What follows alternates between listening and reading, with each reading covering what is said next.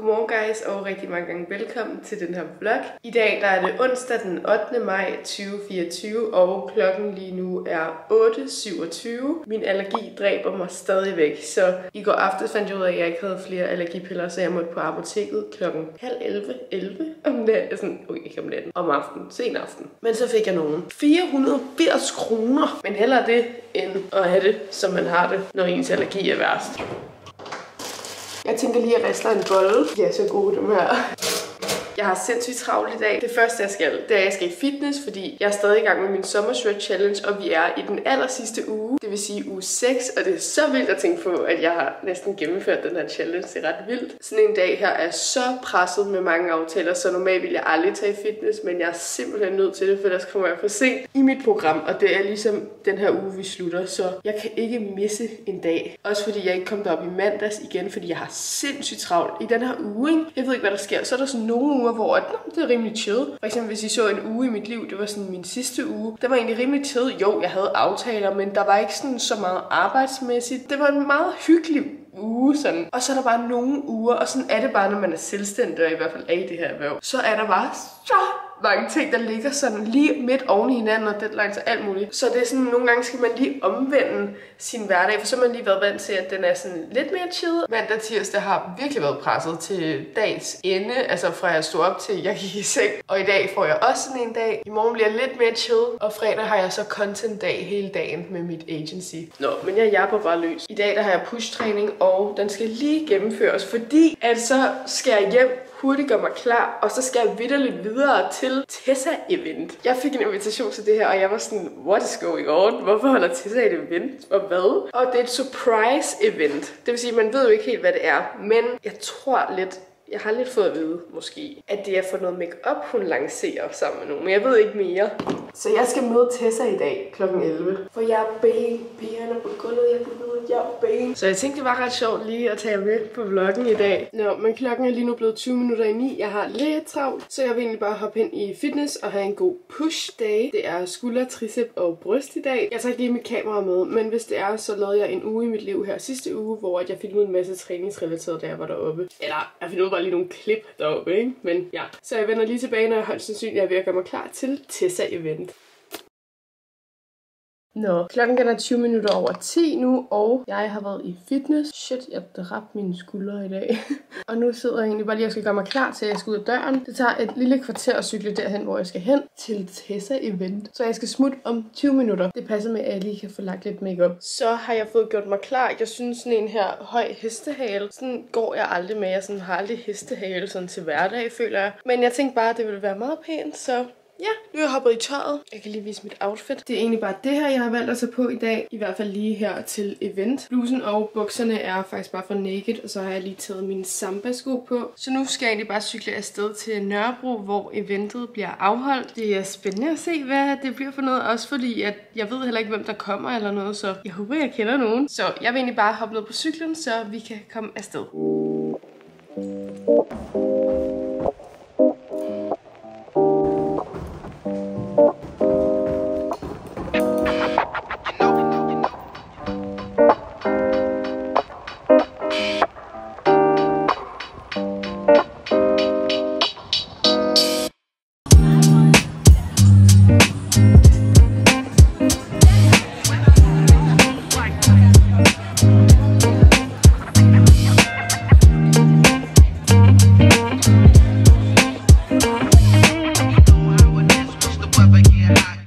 jeg lige været til event. Faktisk lige heroppe. Står lige og spiser en Tessa macaroon. De smager sindssygt godt. Der er sådan noget karamel inde i. Mm, det er så dejligt vejr. Virkelig sommervibe. Så nu skal jeg egentlig bare cykle hjem og få en dejlig cykeltur hjem med en macaron i hånden. så er jeg lige kommet hjem, og jeg fik også lige hentet fire pakker på vejen, fordi at jeg har købt lidt second hand. Jeg har købt lidt på både Thais og Trendsales. Så jeg tænker lige, at jeg vil unbox det. Lad mig lige komme ud af den her mundering. Man kan jo bare ikke helt lade være med at shoppe nogle gange. Jeg elsker at shoppe. Jeg shopper for meget. Hvad er det her? Jeg kan ikke engang puste det. Nå! Ej, hvor nuttet. Hun har puttet det ned Ikea-pose. Jeg har købt en sports-BH fra XSR i medium, som jeg bruger Prøv lige at se. Det er den flotteste sports-BH. Jeg havde nemlig ikke en sort, og så bare mega flot om på ryggen, fordi den er udsolgt ind på deres hjemmeside, men der var så en, der solgte den. Så den har jeg købt virkelig glad for. Ej, den kommer jeg til at bruge meget. Næste pakke, det er den helt gode Netto-pose. Ej, den her var så flot. Jeg kunne slet ikke lade være. Jeg gav 70 kroner for den her, og jeg synes bare... Prøv at se, hvor stilet den er. Jeg aner ikke, hvor den er fra. Der står det her. Men jeg synes bare, den er sygt stilet. Det er sådan en zebra-skjorte. Jeg føler virkelig godt, den kunne noget. Ej, den er så cool. Prøv vil jeg overveje den. Ej, så sej. Jeg elsker. Jeg føler også, det er sådan noget, Emilie Britting godt ville kunne lide. De næste ting kan jeg godt huske. Det er to ting fra Saks Jeg har nemlig købt en lidt våget festtop. Og jeg ved ikke om ej, den ser godt nok lidt stor ud. Ej, det ved jeg ikke, om jeg kan passe. Den er ellers røvsej, men det er også en medium, jeg plejer sådan at bruge small i overdel. Altså, fuck.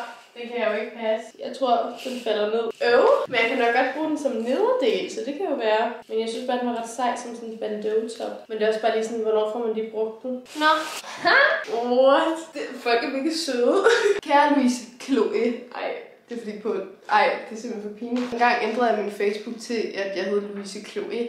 Schaumburg-messen. I'm fucking no. Jeg bliver også drillet af alle mine venner. Men det hedder åbenbart stadig inde på Trendsales. Jeg forstår det ikke. Jeg kan ikke ændre det. Så skrev, kære Louise Chloe. Tak for en god handel. Jeg håber, at du bliver glad for din nye lækre SP-jakke. Perfekt til sommer. Knus Cecilia. Ej, altså folk de er søde. Og det er simpelthen fordi, jeg har købt en Saxpost-jakke. I min sidste video, der viser jeg jo, at jeg havde købt den her mega flotte læderjakke fra Saxpost. Oh my god. Så nu har jeg altså også købt sådan en her. Eller den havde jeg faktisk købt først. Så cool sommerjakke. Ej, den sidder perfekt. Altså overvej lige. Den passer jo også til alt. Sådan, hey.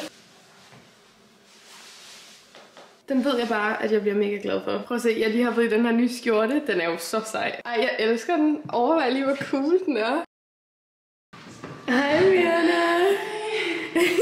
Hvad lukker du til? Til mandag. Til Monday. Nå, jeg tror ikke lige, at fortalte, at Katrina faktisk også lige skulle have det hjem til mig. Jeg har en lille gave til dig. Ej, hvad?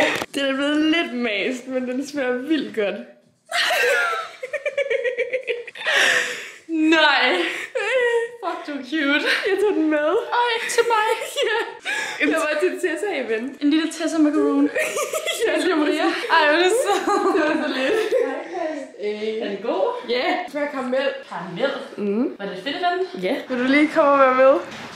Så, sagen er den, at i dag er det jo mandag den 13. når den her video kommer ud. Og i morgen, tirsdag den 14. der afslører vi noget inde på Instagram, som vi har arbejdet på i vildt lang tid, og som vi har skulle holde hemmeligt for jer.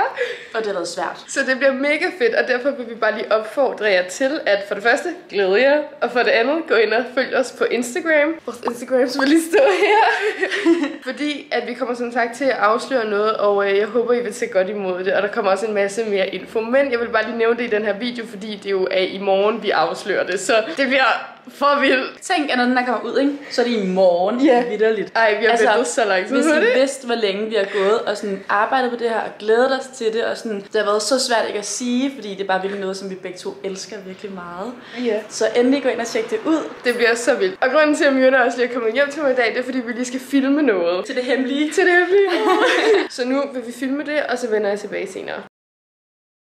Klokken den er blevet kvart i fire nu, og Katrina hun er smuttet hjem. Vi fik lige filmet og ordnet det, som vi skulle lave. Det bliver altså spændende. I skal huske at følge med i morgen på Instagram. Så nu skal jeg faktisk lige arbejde. Jeg skal skyde en reel for Coca-Cola. Og så skal jeg her om små to timer afsted. Jeg skal nemlig spille håndboldkamp i dag, så det er en af de dage. I dag skal jeg spille mod Ishøj. Så jeg vil gerne have nået at filme den her reel, redigeret den, for at sende den til godkendelse og få lavet noget med inden. Så nu lægger jeg lige kameraet og får gjort det, jeg skal, og så ses vi senere.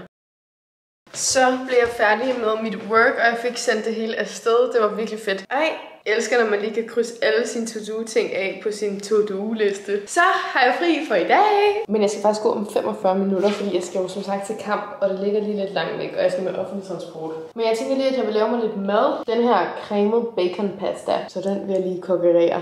Så er vi i gang med madlavningen. Lækkert. Og pastaerne lige hernede bliver kogt. Og så er jeg lige i gang med at stege noget bacon. Øj, det er den her liste til. Og så en eller anden pink paloma. Hold kæft. Hov. Ej, hvor lækkert. Mums, en god pastaret. Så er der lækker aftensmad. Skal vi lige smage på løgerne her. Mm. Men den her video, den er jo også lavet i samarbejde med Naked. Jeg har i hvert fald bestilt nogle mega fede items hjem, så jeg tænker lige, at jeg vil tage mit Naked haul i videoen her. Og så vil jeg sige tak for i dag, og at vi ses igen i morgen. Hej hej! Hey guys! Så er det altså blevet tid til månedens Naked haul. Der er faktisk nogle af jer, der har efterspurgt en rabatkode, så det er jo godt, at jeg igen, igen, igen har det til jer. Med min rabatkode massen kan I nemlig spare 20% ind hos Naked, og den vil være gyldig i en hel uge. Så I har masser af tid til at shoppe lidt. Jeg har også fået bestilt nogle items hjem denne måned, som jeg glæder mig til at vise jer. De er kommet i den her pakke, så jeg tænker bare, at vi gør, som vi plejer. Jeg unboxer den her pakke, og så ser I et try-on haul her ved siden af mig. Og så vil der selvfølgelig også være links til alt ned i beskrivelsesboksen. Så lad os bare få se, hvad jeg har fået bestilt denne gang. Okay, det første, jeg hiver op her, det ved jeg godt, hvad er. Olivia Branting har influenced me. Hun har nemlig også den her, og jeg synes bare, at den var mega flot. Den er godt nok pakket grundigt ind. Jeg skal lige pakke den helt ud. Ej, men altså, den er så flot. Det er den her lille taske, og der følger faktisk sådan en rem til, hvis man også har lyst til det. Men jeg tænker faktisk bare at gå med den i hånden. Så det er bare en lille fin taske, der seriøst passer til alle outfits, som bare lige kan holde din telefon og lipgloss og kortholder og whatever. Jeg synes bare, den er så flot, og jeg er virkelig glad for den. Og så åbner man den bare her. Ja. Mega smart. Så har jeg bestilt en oversized t-shirt. Den er sådan lidt off-white, knækket hvid, men jeg synes bare, den så virkelig flot ud. Jeg har den i en størrelse small, og så har den de her lidt brede ærmer med sådan en syning her. Meget pæn, og så kan man jo for eksempel tage en oversized hoodie ud over, så, så kan man stadig fornemme, at man har en t-shirt indenunder, og den vibe, sådan lag på lag look, det kan jeg ret godt lide. Så har jeg bestilt en sindssygt flot top. Det er lidt sådan en cardigan, ja, sådan en sort lace cardigan. Den er bare så flot, og jeg er virkelig into blonder her for tiden. Jeg synes, det er mega pænt. Den her, den har jeg i en størrelse extra small. Jeg havde nok taget den i en small, men da jeg bestilte, så havde de den ikke lige en small. Så nu ser vi. Naked plejer normalt heller ikke at være så lille i størrelsen, så jeg tror lige, det går ind. Men den ser altså sådan her ud. Sindssygt flot. Jeg glæder mig til at have den på. Det er 100% sådan en, man lige kan hoppe i, hvis man skal ud og spise eller til et eller andet. Eller lige vil være lidt blondeagtig en hverdag. Så har jeg bestilt en miniskirt. Jeg elsker virkelig nederdel. Ikke nok med, at de er virkelig behagelige at have på, så synes jeg også bare, at man kan style dem vildt flot flot. Så jeg har simpelthen bestilt den her miniskirt i det her sådan lidt zebra-agtige look. Overvej lige med sådan en oversized hvid sweatshirt eller sådan strik ud over. Det kunne være så flot. Så virkelig flot miniskirt, og den har jeg i en størrelse 38. Apropos sweater, så har jeg altså også bestilt en knitted sag. Det er sådan en her bluse, og den har sådan nogle seje, ja, sådan lidt øh, strikket mønster her. Jeg synes faktisk, den ser ret sej ud. Jeg har den i en størrelse small, og så har den den her sindssygt flotte, sådan lidt koldtonet beige farve, og den er virkelig pæn. Det her ville da se meget sejt ud sammen. Så har jeg bestilt et par hørbukser, fordi vi kommer jo ind i sæsonen. Dem her, dem har jeg i en størrelse 38. De så virkelig flotte ud inde på hjemmesiden. Så der er en masse variationer af hørbukser, føler jeg. Der er nogen, der kan noget, og så er der nogen, der ikke kan så meget. Men de her, de så faktisk virkelig, virkelig seje ud. De er også en virkelig flot farve, og så ser de sådan okay tykke ud, så de ikke er det der helt tynde, gennemsigtige materiale. Og så har de ikke nogen lommer, men det synes jeg faktisk er så meget pænt. Så har de lige en lille snøre her in the waist. Så det bliver nok min nye sommerbuks. Olivia Branting, You Influenced Me Again. Hun havde den her vildt søde, sådan lidt Finn Holger-agtig cardigan på. Og jeg er jo sådan en, der ikke er bange for at gå med farver. Jeg synes bare, at den er så sød, virkelig cute, og man kan style den, så den ser virkelig sådan eksklusiv flot ud. Jeg har min i en størrelse small, og ej, jeg glæder mig faktisk til den her. Jeg tror, den er virkelig god. Rigtig god, og så lige til et par jeans, og så kører vi. Så har jeg også bestilt deres sweatshirt. Det er deres oversized sweatshirt, og jeg har den i den her lysegrå farve. De er bare sindssygt flotte, og jeg manglede virkelig sådan en her nogle helt normalt grå sweatshirt. Den kan man jo altid bruge, og jeg svæver, det er så blødt materiale herinde. Det er så lækkert. Ja, den har jeg i en størrelse medium, og øh, ja, sådan en, den skal man bare have i sin garderobe, føler jeg. Så har jeg bestilt et par bukser, som jeg allerede har i beige, khaki brun-agtig. De havde dem altså lige i øh, navy også inde på deres side, og jeg elsker dem, jeg i forvejen har. Det er sådan nogle cotton pants. De hedder i hvert fald Elastic Waistband Cotton Pants. Og dem her, dem har jeg så taget i en størrelse 40. De er så flotte. Jeg tror faktisk også, Sille, min veninde, har dem her i den farve her. Jeg har dem jo allerede, så jeg ved, at de er gode. Så dem her glæder jeg mig også bare til at gå med. Altså, jeg skal også på Ross og sådan noget, så jeg glæder mig bare så meget til mine Ross outfits. Men ja, super gode bukser, og de plejer tit at være udsolgt inde på Naked. Det kan være, I er heldige, men øh, nu ved I, at de findes, og de nogle gange lige kommer på lager, og så er det mere at være hurtig. Så har jeg bestilt en flot bluse. Det er sådan en hvid, lidt tynd bluse, men den har en sindssygt flot ryg. Prøv lige at se, så er der sådan en sløjfe her på ryggen, and I like that. Så ja, den ser faktisk bare normal ud her, og så materialet er sådan noget blødt, øh, meget let noget. Det er i hvert fald virkelig flot. Og den her, den har jeg i en størrelse medium. Til allersidst, så har jeg bestilt en strik. Jeg føler også bare, en strik er god her til, når det er ved at blive sommer og sommer generelt, fordi i Danmark, det kan bare godt blive lidt koldt om aftenen, så det er bare virkelig fedt lige at kunne smide sådan en her over. Og Den her, den ah, virkelig flot blå farve, synes jeg. Den hedder i hvert fald Round Neck Knitted Sweater, den er i farven Cobalt. Kobold. Den er i hvert fald i Cobalt Blue, den her. Sindssygt flot, mega blød strik. Så øh, den er jeg også super glad for. Så det var egentlig de ting, som jeg havde fået bestilt fra Naked denne gang. Måske fik lidt inspiration, og så husk, at der selvfølgelig er links til det hele nede i beskrivelsesboksen. Derudover så har jeg også min rabatkode, massen, som giver jer 20% rabat i en hel uge. Så den kan I jo bare benytte jer af, hvis det lyster. Og så har jeg egentlig ikke mere at sige, end at lad os bare fortsætte med vloggen.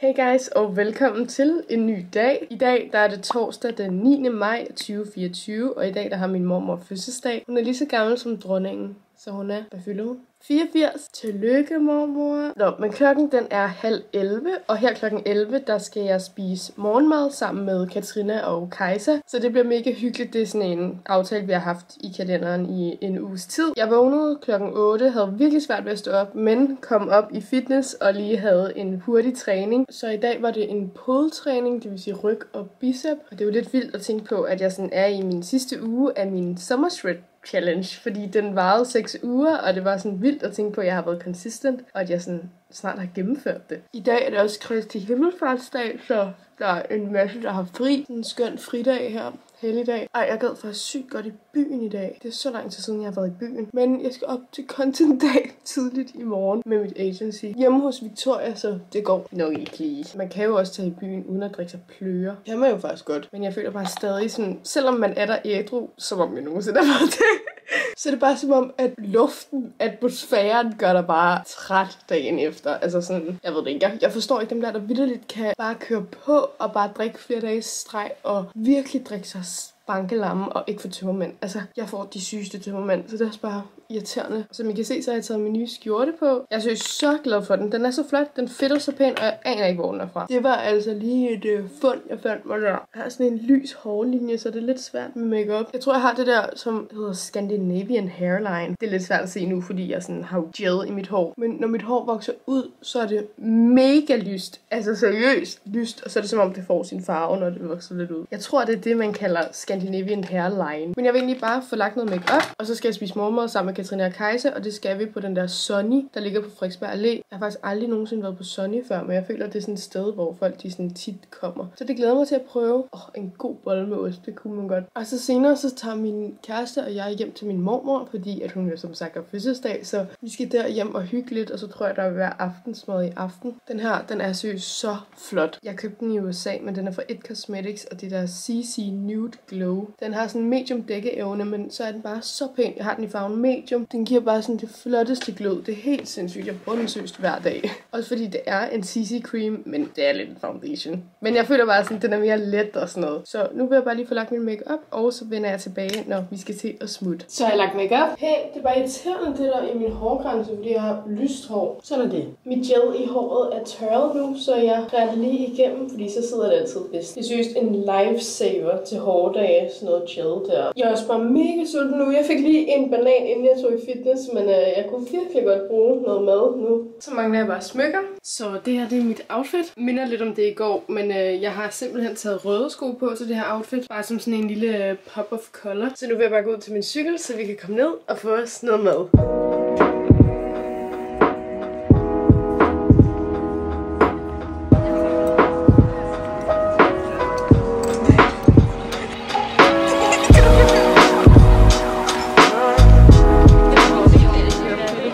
Har vi siddet her på Sonny's i fire timer nu.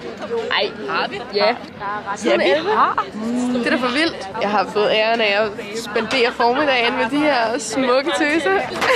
Er det samme vlog fra Ja. i går? Ja. Nå, så ser I da lidt til mig derude på Ja. kanalen, hva'? Så øh, nu skal vi til at betale, og så skal jeg til at hjem af, og I skal måske hygge videre. Måske.